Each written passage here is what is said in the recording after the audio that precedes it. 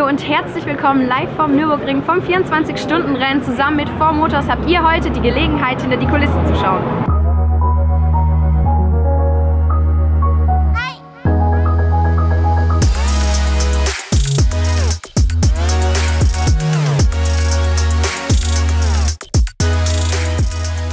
Neben mir steht Patrick. Patrick, stell dich doch einfach mal ganz kurz vor, dass die Zuschauer wissen, wer du denn überhaupt bist und welche Position du in dem Team hast. Hallo, ich bin der Patrick. Mir gehört oder ich bin äh, Inhaber von WNS Motorsport. Wir machen den Technikpart für V Motors und äh, Mechaniker bin ich aber auch noch. Ich leite auch noch das Einsatzteam für äh, Reparaturteam. So. Patrick, sag mir, was hat dieses Auto, was andere Autos nicht hat? Okay, also äh, wir haben hier einen 991 Cup 2. Der ist erstmal komplett gleich wie jeder andere.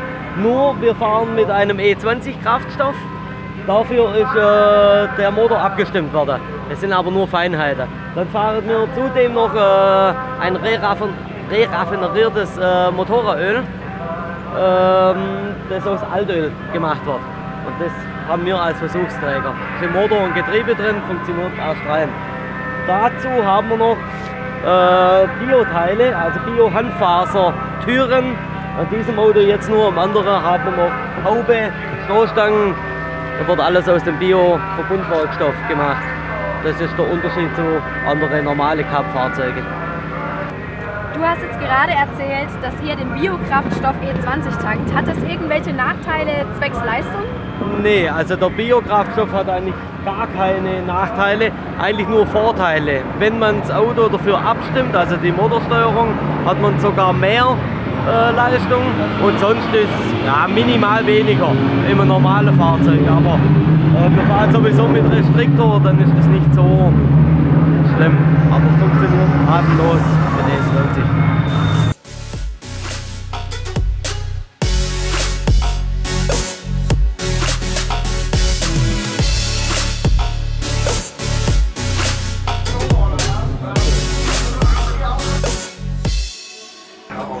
Also wir sind gerade dran und versuchen äh, das Setup noch ein bisschen anzupassen und äh, Reifentemperaturen haben wir im Auge, Luftdruck, versuchen halt das ganze Auto jetzt auf die Streckengegebenheiten anzupassen und zusätzlich versuchen wir jetzt gerade noch einen guten Slot zu erwischen, wo wir noch eine schnelle Runde fahren können, wo wenig Verkehr ist, um einfach jetzt nochmal eine gute Zeit rauszuhauen.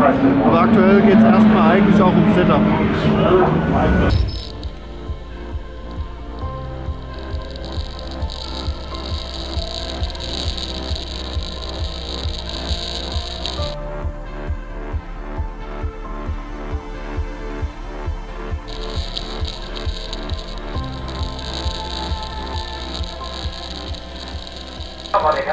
Mir steht Dominik. Dominik, erzähl ganz kurz deine Position im Team.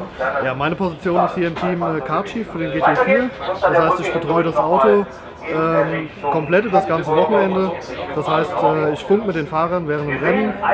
Ich ähm, kümmere mich hier auf den Monitoren ähm, quasi um die Position vom Auto. Ich gucke, dass wir einen guten Slot erwischen, um einfach eine freie Runde zu kriegen für die Fahrer. Außerdem teile ich hier meine Crew ein, äh, informiere die, wann wir den Boxenstopp machen und äh, kümmere mich hier halt einfach ja, 24 Stunden um das Auto.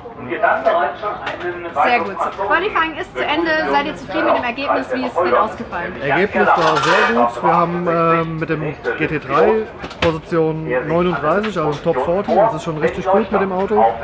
Und äh, das andere Auto haben wir auch relativ gut positioniert. Da haben wir relativ viel getestet. Wir haben am Setup gearbeitet und haben jetzt einfach versucht, ähm, ein konstantes Setup auszufahren, dass wir wirklich schön über die 24 Stunden die Reifen perfekt nutzen können. Luftdruck, Reifentemperatur und Setup, das spielt halt einfach eine große Rolle, gerade bei diesen Capriolen hier, die wir in der Eifel mit dem Wetter haben. Und äh, ich denke, da sind wir für morgen bestens gerüstet. Viel Glück für morgen und vielen Dank fürs Interview. Wir haben jetzt noch einen kleinen Abstecher zur Drift Show gemacht. Leute, seid auf jeden Fall gespannt, was diese verrückten Jungs uns gleich zeigen werden.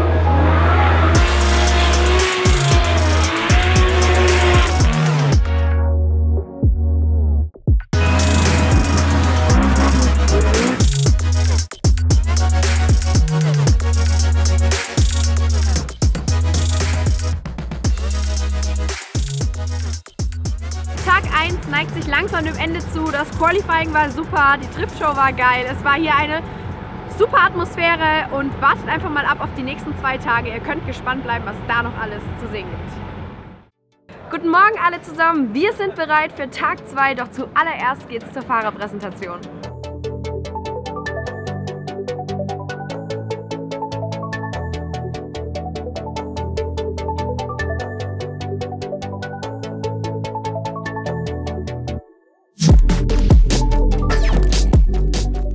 Wir nähern uns immer mehr dem Rennen. Jetzt geht es zuallererst zur Startaufstellung und wir werden erstmal unser Team suchen.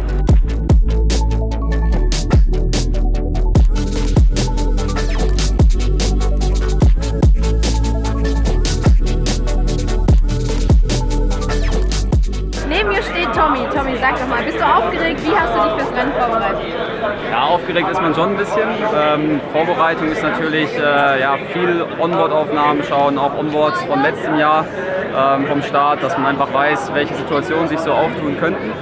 Aber ja, im Endeffekt einfach cool bleiben, äh, den Start so fahren wie immer, ist halt immer situationsabhängig und dann schauen wir mal, dass wir das Beste draus machen. Sehr gut, ich wünsche dir ganz viel Glück. Dankeschön, viel Spaß euch. Danke.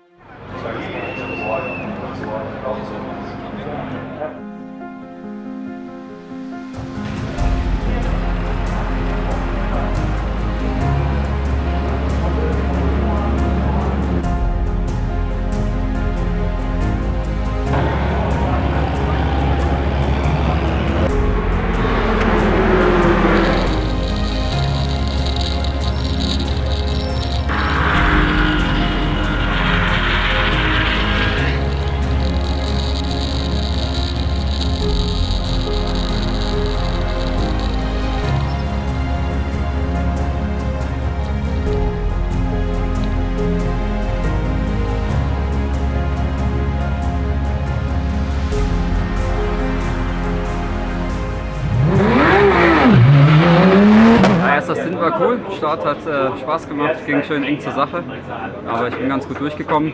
Hatte dann äh, eine schwierige Situation in Matzenbach, weil ein Unfall vor mir war.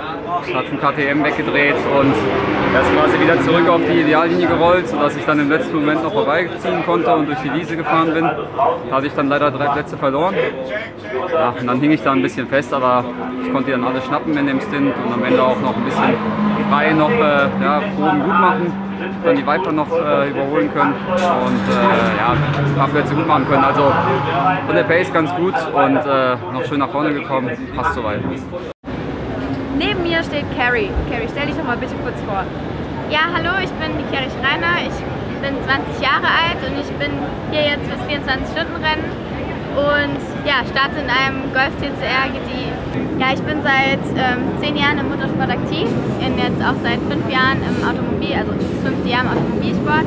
Ich bin am Anfang meiner Karriere zwei Jahre Formel 4 gefahren, dann zwei Jahre Lamborghini Super Fabio und seit diesem Jahr bin ich im GT3-Sport unter anderem in der ADAC GT Master unterwegs. Sehr gut. Vergleich jetzt 24 Stunden Rennen Nürburgring. Kannst du da schon irgendwelche Schlüsse ziehen?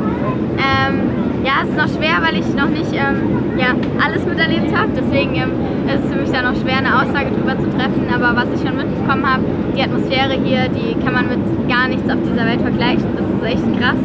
Ähm, die Fans und auch alle Fahrer, das ist irgendwie ähm, ja, wie ein großes Festival. Das ist halt, ist halt echt cool und es macht echt Spaß, hier zu sein. Carrie, was ist das Besondere an eurem Team? Ja, das Besondere an unserem Team ist, dass wir nur Mädchen sind. Also nicht nur die Fahrer, weil das hat es ja schon oft gegeben, sondern auch alle Mechaniker, Ingenieurinnen, ähm, egal ob es Reifen ist, Orga, sind alles Mädchen. Das ist ziemlich cool und das hat es auch noch nie gegeben vorher. Ja, wirklich cool. Endlich gibt's sowas. vom Meister gesagt habe, so, wir haben eine Anfangsphase mit den 911er Fahrzeug gut hinter uns gebracht.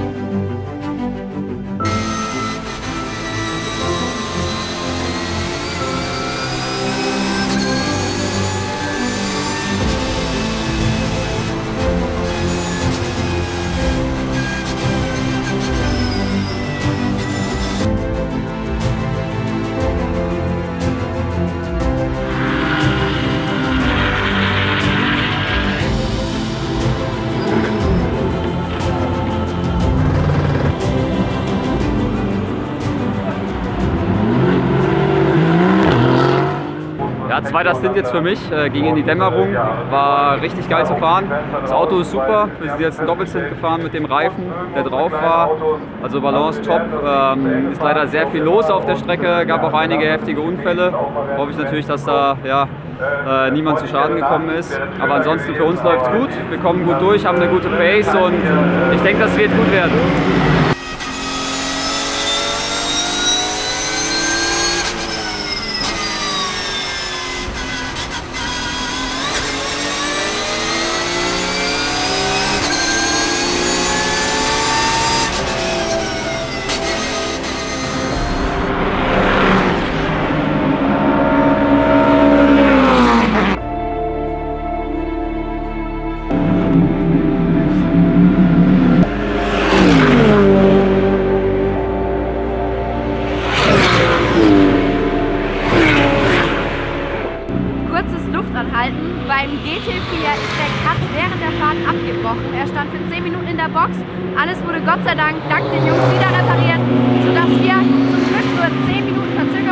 Und der Porsche weiterfahren konnte. Viel Glück weiterhin.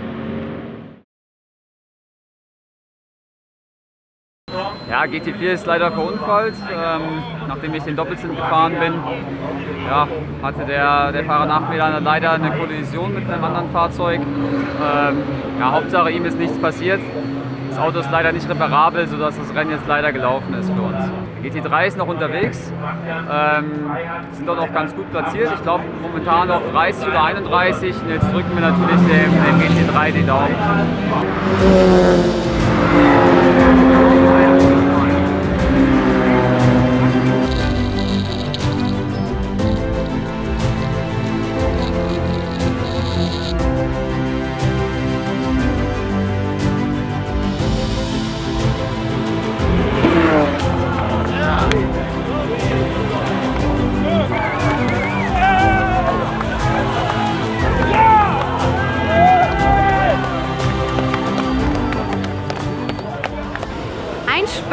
Wochenende beim 24-Stunden-Rennen am Nürburgring geht zu Ende. Wir können super stolz auf unsere Jungs sein. Gestartet mit der Position 39, angekommen im Ziel Position 22. Das Bio-Konzept hat auf jeden Fall funktioniert. Gesamtsieger in der AT-Klasse und 22. Position, wie gesagt, beim 24-Stunden-Rennen am Nürburgring. Wir lassen den Abend jetzt noch mit unserem Team ausklingen und wir sehen uns beim nächsten Mal.